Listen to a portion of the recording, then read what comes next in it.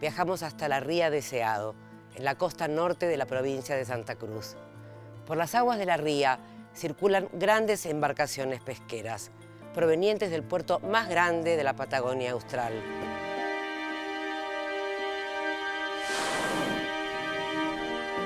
Uniendo ciencia, conservación y turismo, hoy Puerto Deseado es uno de los puntos más atractivos y sorprendentes de nuestro Atlántico Sur.